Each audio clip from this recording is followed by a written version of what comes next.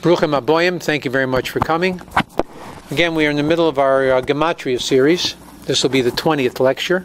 Not to confuse that we are on the number 18.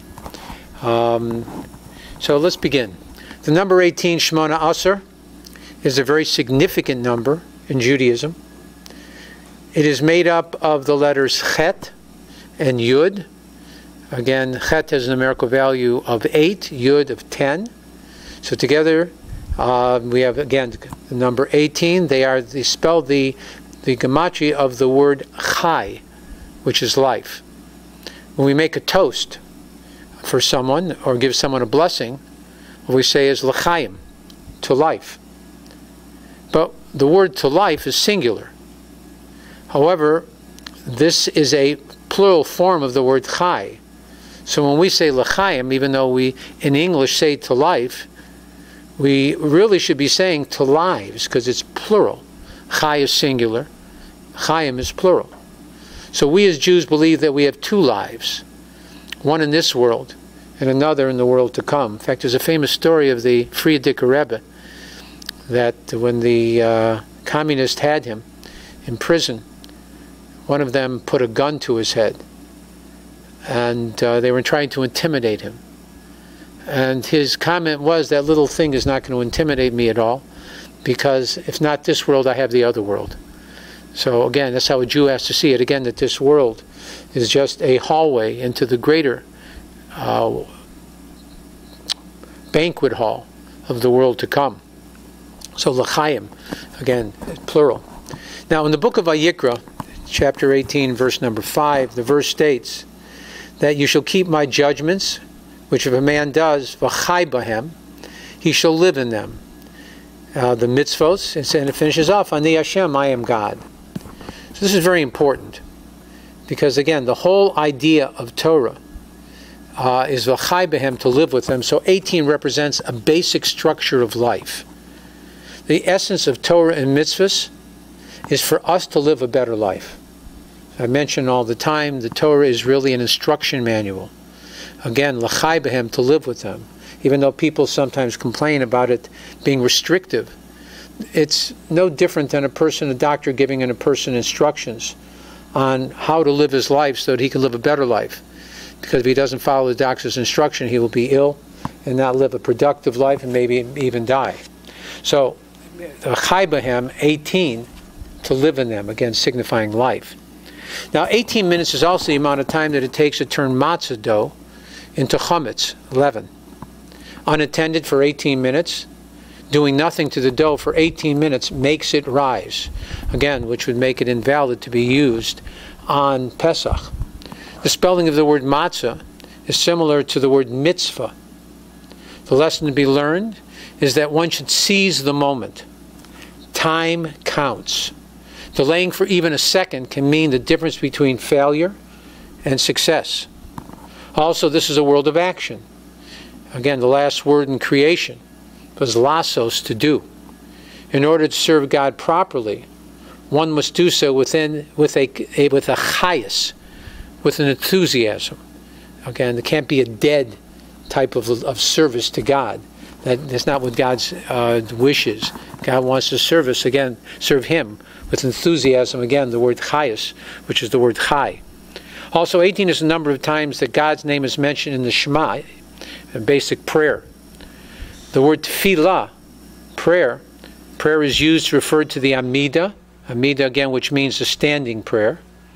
We also call it the Shmone Esrei, which translates to mean 18.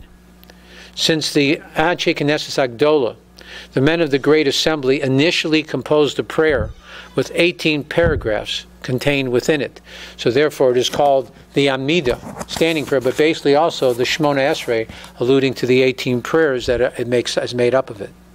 Now, why are there 18 blessings in the Amida? What's the reason for 18? Reb Shimon says the 18 blessings correspond to the 18 vertebrae in the spine. When we pray the Amida, we bow four times and bend our spine, showing our submission to God. It's an interesting side side effect that when a Kohen Gadol would pray, he would pray, he would bow at the beginning and the end of every bracha in the Shemon Esrei, a king would bow at the first word Baruch and stay bowed throughout the whole Shemona Esrei to the word Shalom. The greater the man, the greater the humility, the more he has to show submission. And again, that's, that's bending the spine. Also, Rabbi uh, Pinchas says that the 18 blessings correspond to the 18 times that our forefathers, Abraham, Yitzchak, and Jacob, Abraham, Isaac, and Jacob, are mentioned together in the Torah. Reb Shmuel ben Nachmani says, in the name of Rabbi Yochanan, that it corresponds to the phrase, as Kasher Kasher Tziva Hashem Moshe, as God commanded Moshe, which is found 18 times in the Torah portion, portion of Pekudei, where it discusses the Mishkan and all the commands that God had given to Moshe in its construction. He also states it is connected to the 18 times that God's name is mentioned in Psalm 29 in Tehillim, in, in Psalms, which describes the events of the giving of the Torah, and therefore represents our belief that God gave us the Torah. The connection with the vertebra of the spine is not only humility, but also our belief that when the time for Techiyat HaMesim, for revival of the dead occurs, God will take one of the vertebrae of the spine called the luz bone, which is indestructible, and resurrect all those who had died throughout history. A concept that seemed basically impossible in the past. But today, with the discovery of DNA, this concept does not seem so far fetched anymore, kind of a Jurassic Park type of idea. The last blessing of the original Amida uh, is Sim Shalom, bring peace, bestow peace. It is the 18th blessing in the Shemona Esrei, in the standing prayer. The word Chaim, life, is mentioned three times in the prayer Sim Shalom. The prayer connects Chaim with Torah, calling it Toras Chaim, that, is the Torah that gives us life. Much like the verse in Mishlei, chapter 18, verse number 3, that says, famous quote, Eitz chaim hi. It is a tree of life for those who support it. Very interesting, it doesn't say it's a tree of life for those who learn it. Hamachazikim ba for those that support it. Which means that, again, supporting Torah institutions and Torah learning is even greater than a person who learns, who gives that person the ability to learn. Again, more than the rich poor man needs the rich man, the rich man needs the poor man. One helps the other by what they do. Altogether, there were 18 materials used for offerings in the Mishkan. Now, when we shake our lulav and esrog on Sukkot during the Hallel, again in the this of Psalms, we shake in six directions. There are different customs Again, based on Arizal, we shake south, north, east, up, down, and west. Six directions. We do this three times, in each direction making a total of 18 times that that we shake our lulav and esrig during the Hallel. Now the Medrash states in the verse in, in Tehillim, chapter 119, verse number 130, it begins Pesach Devarecha Yoir which translates to mean the opening of your words illuminate. What does this mean? Opening of your words illuminate. This alludes to the menorah, the candelabra that was in the temple. The beginning verse of each of the five books of the Torah connect to the menorah in the temple. How's that? So the first verse in the book of Bereshit has seven words. That alludes to the seven lamps of the menorah. The first verse in the book of Shemos, the second book, has nine words alluding to the nine flowers that decorated the menorah. The first verse in the book of Vayikra, the third book, has 11 words alluding to, alluding to the 11 knobs that decorated the menorah.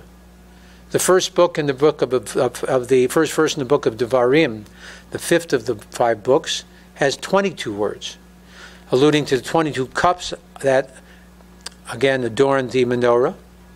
And the first verse in the book of Bamidbar has 18 words, alluding to the height of the menorah in the temple, which was 18 handbreadths.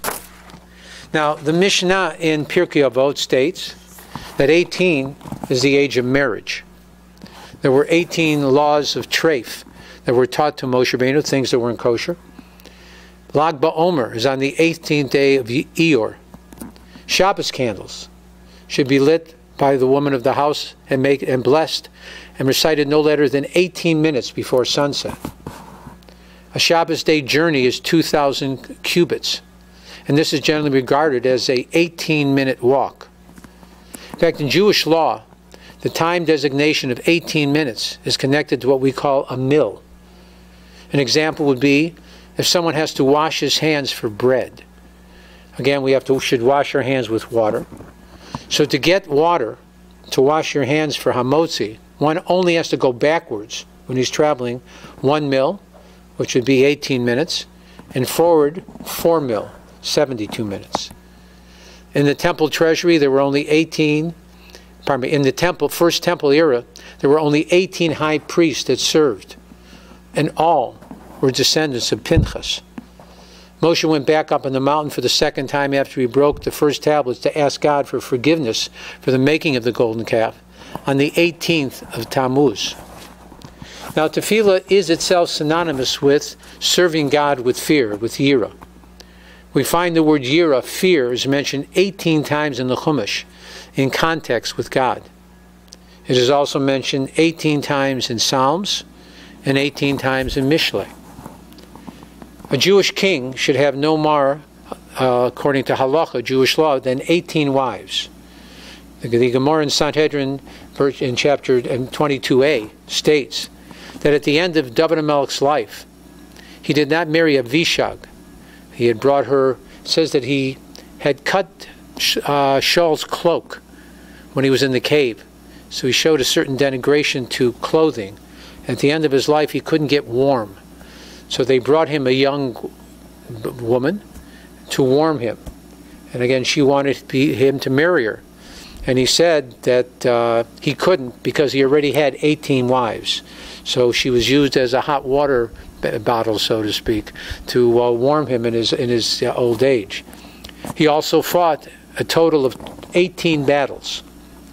Now, the number 18, if you add together 1 and 8, is 9.